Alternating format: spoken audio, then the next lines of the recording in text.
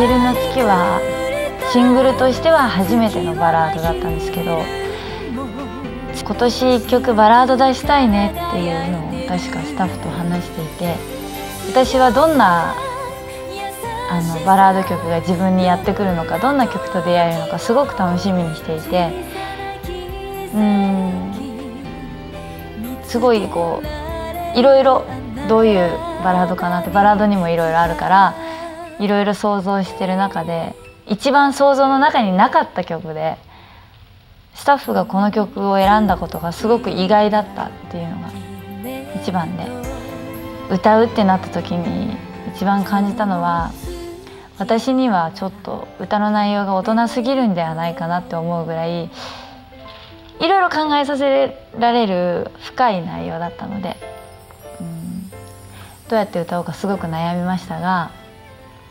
こういった歌を歌えるようになれたことはすごく嬉しいなって思えるような、えー、すごいチャレンジの新しい曲ですね。ナチュラル感をつつなんか歌詞がものすごく伝わる雰囲気で女性にも共感できるような PV 衣装の話を最初にしてた方がいいですよね。はい結構衣装って感じなんですけど、歌衣装じゃないバージョンで、あの割と見たことない私服感に近い感じで見るのかな、うん、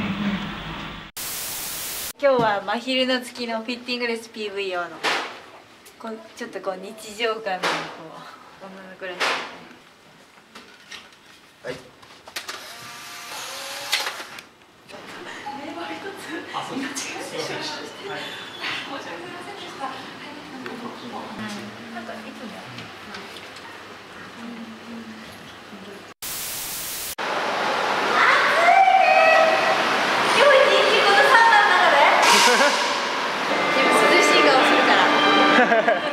まだ始まってないよこれはい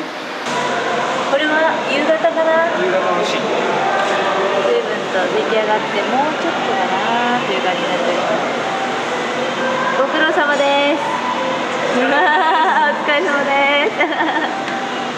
みんな暑い中ご苦労様今回も最高なのができるといいなと願っております。でもみんながこんだけ汗を流して頑張ってくれてるから絶対最高 PV ができます。みんな楽しみに待っててね。はい。ということでまた準備に取り掛かりたいと思います。えー、カメラマン島谷ひとみでした。じゃあね。じゃあ一度本に入ります。始まりますよ。PV 撮影スタート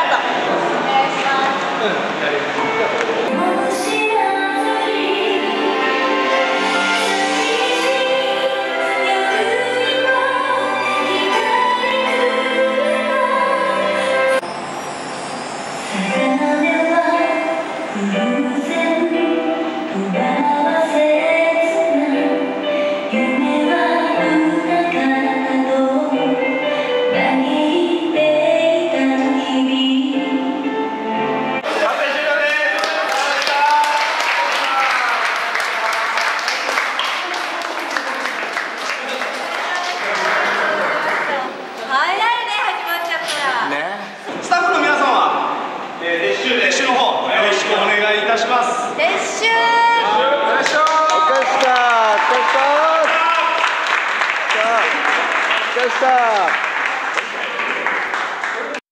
つも派手に歌って踊って洋服も派手でなイメージかもしれないけどたまにはこういうシンプルで、えー、引き算方式のラフでシンプルな自分も見てもらいたかったのでこれも、えー、新しい自分を見てもらえるいいきっかけになった PV かなと思ってます。